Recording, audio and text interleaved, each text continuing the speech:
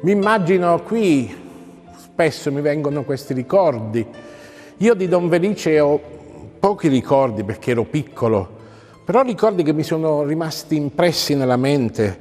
Ricordo una volta una sua ce- celebrazione nella parrocchia delle Grazie dove io facevo il chierichetto, ma quando celebrava lo faceva con uno stile di grande immersione nel mistero che viveva, ma soprattutto poi quando predicava si infiammava, no? Figuratevi qui quante volte si sarà infiammato, avrà riacceso il fuoco dell'amore e il fuoco dello spirito nelle anime che erano state affidate al suo servizio sacerdotale.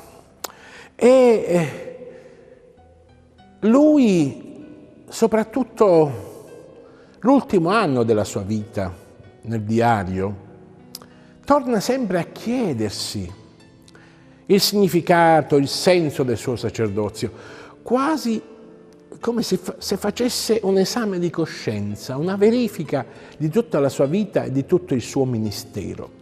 Leggiamo ancora un brano datato 10 dicembre del 1976 in cui Don Felice scrive Il sacerdote che vive il suo sacerdozio in Cristo è come un fiume che dona in amore senza esaurirsi essendo la sorgente Cristo stesso.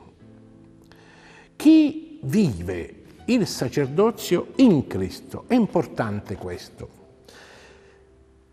La propria fede, la propria vita matrimoniale, la propria vocazione, ogni tipo di vocazione deve essere vissuta sempre solo in Cristo. A, ma- a maggior ragione la vocazione presbiterale, la vocazione sacerdotale, in Cristo, altrimenti noi non diventiamo sacerdoti di Cristo, ma diventiamo sacerdoti di noi stessi, delle nostre idee e delle nostre vedute. I ministri ordinati nella Chiesa sono ordinati appunto perché annuncino il Vangelo e sono ordinati per la Chiesa.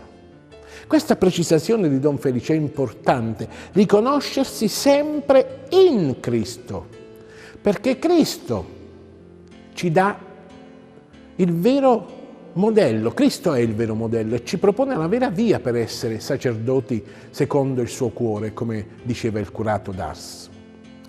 E in Cristo tu acquisti tutta la forza per lasciarti consumare dal tuo popolo, dal tuo ministero. In Cristo tu diventi tutto per tutti tu ti fai tutto per tutti. E continua.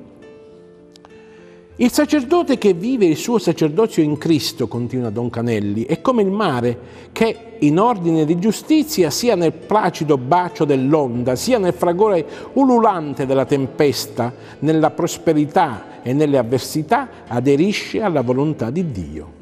Il cristiano il sacerdote, limpido cristallo che in Cristo riceve la luce intellettuale piena d'amore e la riflette nella testimonianza delle opere.